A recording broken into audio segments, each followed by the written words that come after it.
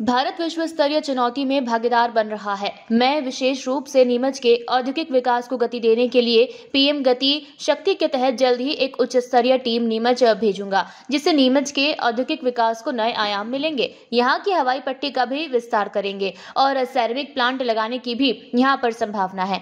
ये बात केंद्रीय वाणिज्य और उद्योग मंत्री पीयूष गोयल ने नीमच के मंगलम रिसोर्ट में प्रबुद्ध जन सम्मेलन को संबोधित करते हुए कही। इस दौरान उन्होंने कांग्रेस पर भी जमकर निशाना साधा उन्होंने कहा कि कांग्रेस के शासनकाल में विकास कार्यों में लंबा समय लगता था। जिस काम के सर्वे में ही चार से पाँच साल लगते थे, अब वह तीन दिन में हो जाते हैं। कांग्रेस के प्रदेश नेतृत्व को आड़े हाथों लेते हुए उन्होंने कहा कि भ्रष्टाचार के कारण कांग्रेस के नेताओं के पास चार्टर्ड प्लान है। हिमाचल में निजी होटल है।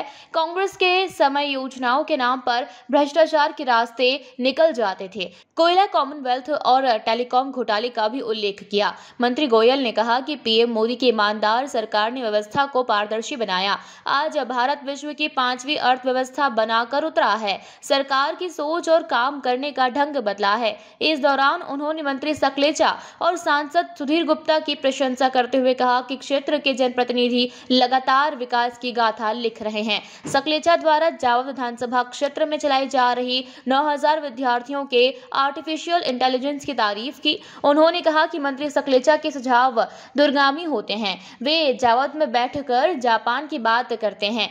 तारापुर के दाबूरान प्रिंटिंग के जी ट्वेंटी में छा जाने की बात भी कही।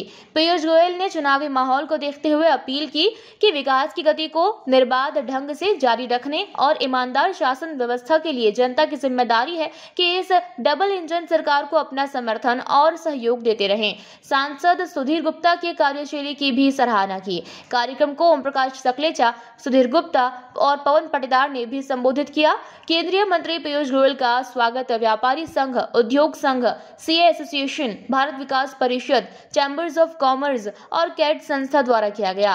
सम्मेलन में दिलीप सिंह परिहार, माधव मारू, स्वाति चोपड़ा, रमेश चंद्र मौर्य मंचासीन रहे। कमलनाथ जी तो बड़े बड़े मंत्री रहे। कभी किसी को ध्यान में आया कि हमारी माता बहनों की कितनी बेइज्जती होती है? शौचालय नहीं होने के कारण।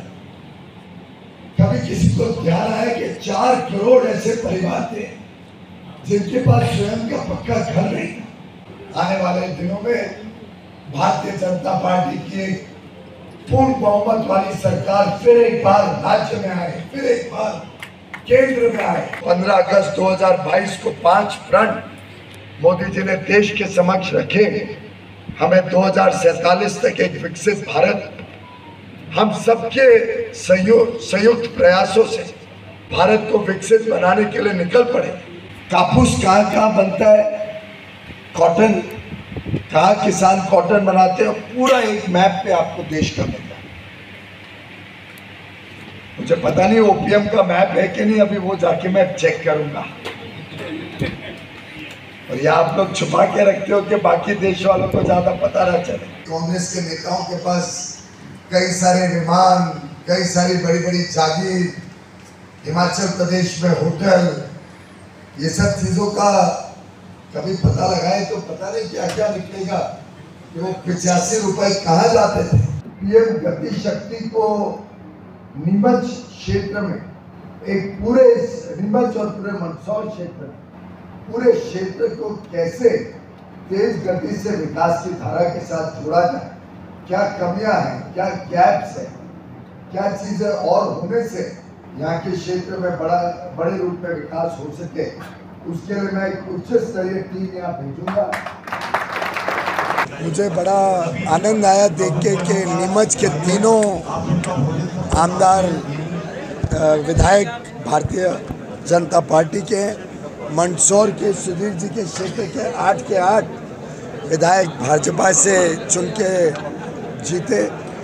और मुझे विश्वास है कि नीमच में जो विकास जो प्रगति गत अठारह वर्षों में शिवराज जी के नेतृत्व में मध्य प्रदेश की सरकार ने और गत साढ़े नौ वर्षों में केंद्र से प्रधानमंत्री नरेंद्र मोदी जी के का, काम से और अब तो हमारे दोनों मान्य सांसद हमारे मंत्री दोनों विधायक सबने जिस प्रतिबद्धता के साथ नीमच की सेवा की है।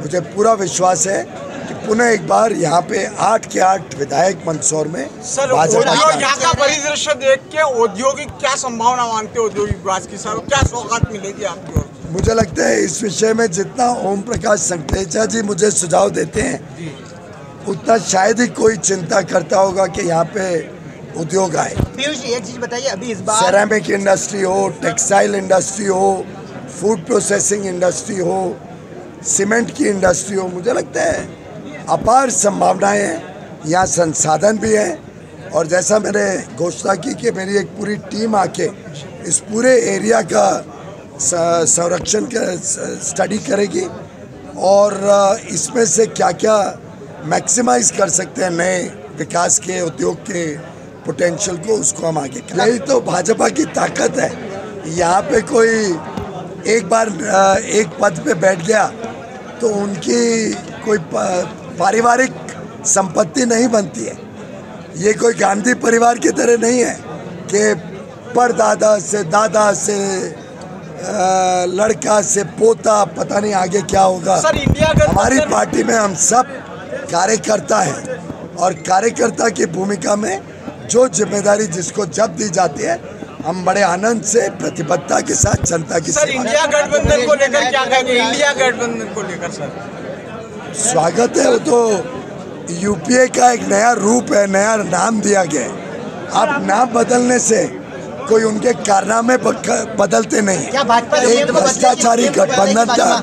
और भ्रष्टाचार के अलावा उन्होंने देश को कुछ हमारे हर चुनाव में हमारा चेहरा कमल होता है और कमल हम सबके लिए पूजनीय कमल लेके हम जनता के बीच जाते हैं। हम सब कार्यकर्ता, एक विचारधारा, भारत को एक विकसित देश बनाना, भारत को के हर एक व्यक्ति के जीवन में उल्लास, उमंग, उनकी जो जो आकांक्षा है, उसको पूरा करना और एक उज्जवल भविष्य के लिए सेवा करने के काम से गरीबों का कल्याण हो, सुशासन हो देश में उस प्रतिबद्धता के साथ जनता के बीच जाएँगे और शेख चिल्ली के सपने देखने से कोई उनको रोक नीमच से अब्दुल अली रानी के साथ पवन राव शिंदे की रिपोर्ट।